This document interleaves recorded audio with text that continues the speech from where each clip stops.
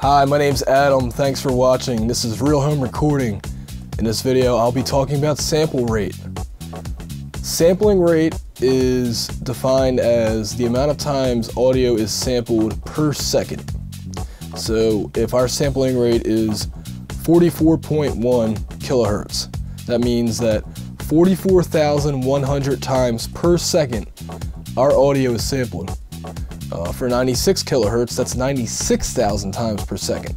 That's a lot of sampling. Um, why is this important? And what are, what are the many controversies of sampling rate?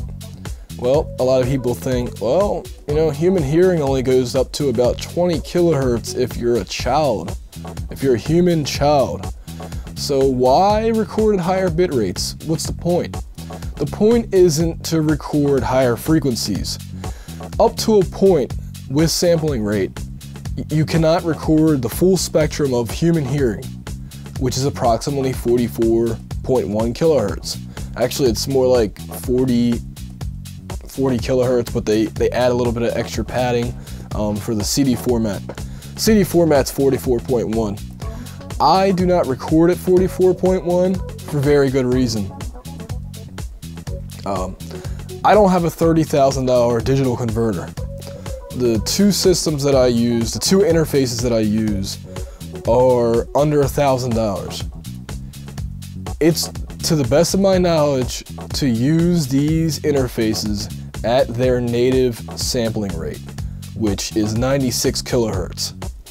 If you have a more expensive converter, such as a Lynx, um, RME is also pretty good. Lavry. There's various other ones. But if you've spent the bucks on your digital converter, go right ahead and record at 441. But for those of us who can't mortgage a house to buy digital audio converters, 96 to me is the way to go. And again, it's not to record higher frequencies because that, that's already covered once you hit 441. What you're doing when you record at higher sampling rates is allowing for essentially um, like distortion and uh, there's some noise artifacts that can happen. There's a lot of bad stuff that can happen as digital processing goes on at lower sampling rates.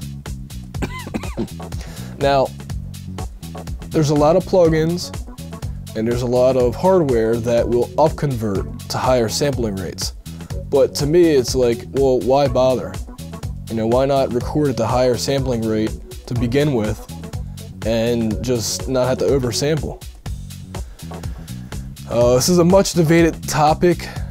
Dan Lavry, who is a pretty big um, audio conversion guy, has stated that the ideal sampling rate is actually right around 60 kilohertz, but there's no audio interfaces that I know of that really do that as a base. Most of them do 441, they do 48 kilohertz, 88.2, and 96. Um, now, as far as cheaper converters are concerned, I say 96 because that's again that's, that's a native sampling rate. And in cheaper converters, the decimator, um, from what I've been told, is typically compromised and it it'll make anything that sounds bad at 96 kilohertz sound even worse at lower sampling rates. From my experience, really 48 kilohertz isn't too bad. That's kind of my compromise format if you're using a slower, older computer.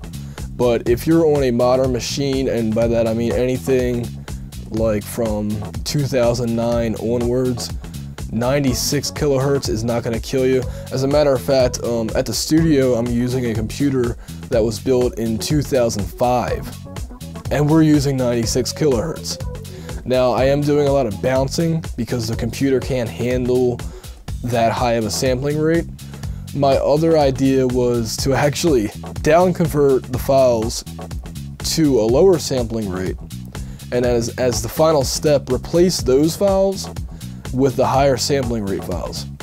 It's an option.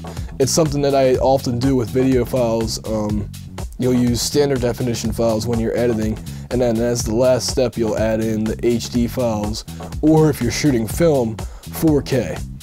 Um, it's a whole other topic, but essentially it's the same idea.